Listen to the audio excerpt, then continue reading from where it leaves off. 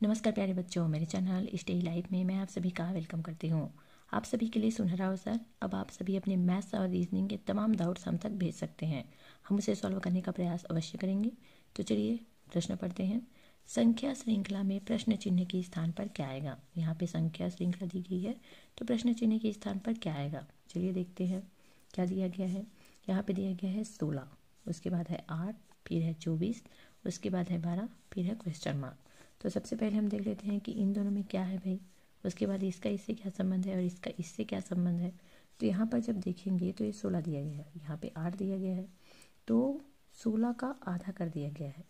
आधा कर दिया गया है ना? एक बटे दो। एक बटे दो कर दिया गया है यहाँ पे आधा। तो कितना आया? आठ। अब आठ गुना तीन किया गया है। देखिए ध्यानपूर्वक। यहाँ पे सोलह का आधा किया गया है आठ। अब आठ गुना तीन किया तो चौबीस आया। फिर चौबीस का आधा कर दिया गया है। एक बटे दो। अभी देखिए यहाँ पे एक बटे दो था, अब गुना फिर क्या जाएगा? बारह गुना तीन। ये देखिए, सोलह का आधा किया, आठ आया, आठ गुना तीन किए, चौबीस आया, चौबीस का आधा किए तो बारह आया। बारह गुना तीन करेंगे तो कितना आएगा? बारह तो यह होता है छत्तीस। तो यहाँ पे आएगा हमारा option number C, right answer.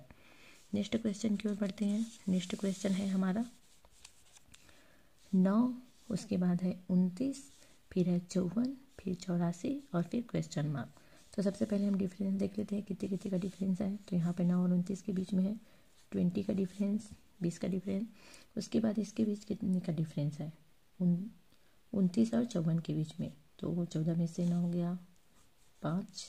उसके बाद दो में से दो गया, चार में से दो गया, दो। अब उसके बाद यहाँ पे देख लेते हैं, चार में चार गया, ज़ीरो। उसके बाद आठ में से पाँच गया, तीन। तो देखिए बीस, उसके बाद पच्चीस फिर तीस तो ये पच पच का डिफरेंस आ रहा है, यहाँ पे पाँच का डिफरेंस है। हाँ बीस में से पाँच जोड़े पच्चीस आया, पच्चीस में पाँच जोड़े तीस आया, तीस में पाँच जोड़ेंगे तो कितना आएगा? पैंतीस। यहाँ पे आएगा, पैंतीस। तो इसमें इसको जोड़ते गए हैं? नौ में बीस जोड़े, उनतीस उनतीस में पच्चीस जोड़े, चौवन चौवन में तीस जोड़े, चौरासी और चौरासी में पैंतीस हमें जोड़ना है तो कितना होगा?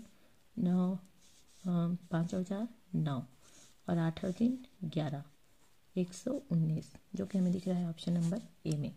यही है हमारा राइट आंसर नेक्स्ट क्वेश्चन की ओर बढ़ते हैं नेक्स्ट क्वेश्चन है हमारा one four nine sixteen twenty five thirty six ये देखिए बहुत ही ईजी है ये वन का स्क्वायर यहाँ पे दिया गया है ये टू का स्क्वायर है ये थ्री का स्क्वायर है ये फोर का स्क्वायर है ये फाइव का स्क्वायर और ये सिक्स का स्क्वायर एक का स्क्वायर एक होता है दो का स्क्वायर चार थ्री का स्क्वायर नाइन फोर का स्क्वायर सिक्सटीन फाइव का स्क्वायर ट्वेंटी फाइव और सिक्स का स्क्वायर थर्टी सिक्स।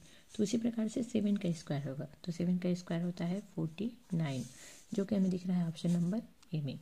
वही है हमारा राइट आंसर। नेक्स्ट क्वेश्चन है हमारा। श्रेणी जो है वो जारी है। दस, ग्यारह, तेरह, सोलह, बीस, पच्चीस।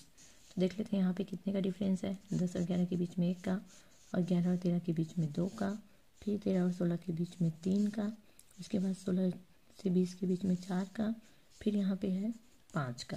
अब देखिए जा रहा है एक, दो, तीन, चार, पाँच। अब पाँच के बाद क्या है यहाँ पे? छः।